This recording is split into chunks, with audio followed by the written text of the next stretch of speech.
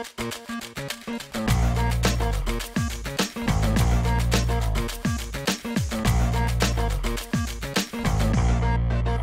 dobry Państwu, witam serdecznie. W piątek Agnieszka Przepiórska, Miłogostrecz, Miłogostreczek są naszymi gośćmi. Dzień dobry, Dzień witam. dobry. Bardzo dobry. ma Pan trudne imię, ale piękne za to.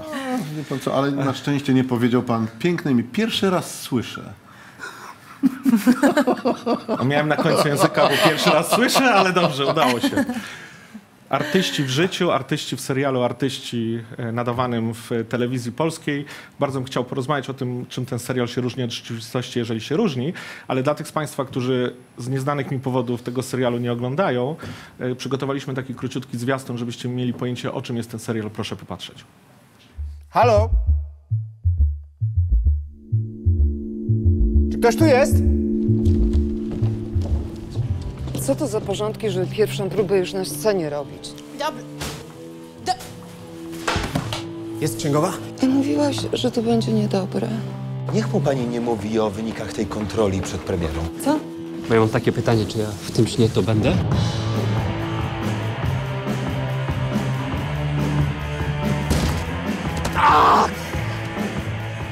Planuje pan zwolnienia? Proszę nie histeryzować. Bo znowu po teatrze dusze łażą w najlepsze. Nerwy są? Są! Chciałaś tu być! To jesteś! Dobrej nocy. Połowa sali będzie pusta. Pan to czytał? Na Szekspira znajdę pieniądze. Artyści. W piątek o 22.20 w dwójce. No i złożyło się. Ten serial się zaczyna e, na napisach takim przeglądem wypowiedzi polityków z czasów PRL-u, władców PRL-u na temat artystów. E, I zastanawiam się, czy ten serial e, rzeczywiście pokazuje prawdę i pokazuje, że artyści, tak jak mieli źle w PRL-u, tak mają dzisiaj źle. Czy o to chodzi w tym serialu? Dziękuję bardzo, to koniec programu. E, wie pan co, to były jednak trochę różne rzeczywistości, choć... Ale nie- nawiązanie nie- jest bezpośrednie w serialu do tego. E, No bo też e, te rzeczywistości były różne, ale sytuacje, które spotykamy w życiu i w teatrze są straszliwie przerażająco podobne. To po kolei. Serial opowiada o tym, że artyści w teatrze nie mają pieniędzy, ponieważ pokazuje, że większość, tam jest jedna postać grana przez Tomka Karolaka, który zupełnie przypadkowo gra aktora, który jest popularny w telewizji, ma Tak dużo jest. pieniędzy.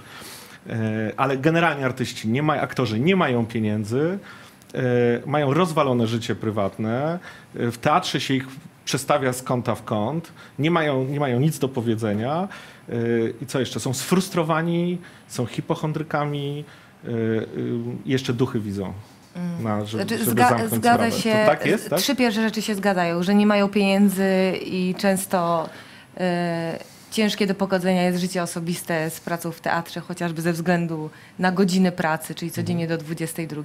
Czyli kiedy zwykłe mamy wracają do domu, mamy grające w teatrze właśnie wychodzą do pracy. Em, No, to, to rzeczywiście jakby to się zgadza, ale czy są aktorzy sfrustrowani i przestawiani z kąta w kąt, to już chyba zależy od y, osobowości. To jest już bardzo indywidualne. y, Ar- Artyści, których ja znam, mówią, aktorzy, których znam, mówią, że ten serial pokazuje prawdę o teatrze, że tak rzeczywiście jest. Czy tak jest? Tak, tak wygląda życie w teatrze? To znaczy, gdybyśmy powiedzieli, że jest dokładnie tak, to byśmy skłamali. Gdybyśmy powiedzieli, że tak się nie dzieje, to też byśmy skłamali. Prawda jak zwykle y, leży po środku, y, a rozumiem, że dla potrzeb y, serialu po prostu niektóre rzeczy zostały zebrane do kupy i w pewien sposób wyolbrzymione. Choć prawdą jest, że w teatrze, ponieważ pracujemy tam na emocjach, zdarzają się rzeczy ekstremalne. I niekoniecznie zdarzają się w trakcie przedstawień, bardzo często zdarzają się poza sceną w ogóle. Czy to znaczy, że na przykład nie, niektóre wydarzenia w tym serialu są Państwu znane? Kojarzycie je z własnego życia? Tak. Mo, można je przyłożyć do sytuacji, Tak, które tak. się zdarzały w teatrze, bądź się zdarzą w teatrze, lub właśnie się zdarzają w jakimś. Ten serial, który był kręcony w zeszłym roku, tak? Bo zdjęcia były w Na zeszłym- przełomie na przełomie. zeszłego i tego roku. Y, Nie, nieprawdopodobnie celnie wpisał się w obecną sytuację i we wszystko to, co się dzieje wokół teatru i w ogóle to, co się dzieje w naszym kraju, no, łącząc teatr z polityką. I ten, ten wątek polityczny, przecież pana bohater, gr- grany przez pana bohater jest taką osobą, która łączy ten teatr z polityką. I to jeszcze z, na dodatek z aferą reprywatyzacyjną w Warszawie, która w tym serialu jest bardzo ważna i odgrywa dość kluczową rolę. E, Czy rzeczywiście jest tak, że artyści dzisiaj są ofiarami polityki? Macie Państwo takie wrażenie, że tej polityki jest za dużo w teatrze? No zdecydowanie. Wydaje mi się, jakby patrząc w tej chwili na przykład na, na Wrocław, czy nie wiem, na Teatr Żydowski w Warszawie, czy Teatr Ateneum, to rzeczywiście ta polityka się wdziera do teatru i nie wiem, no, no dla mnie jest to poważne przekroczenie kompetencji polityków. Ale z kolei pani, bo pani mówi o tym, że polityka wchodzi do teatru, ale sam, pani też wchodzi ostro do polityki.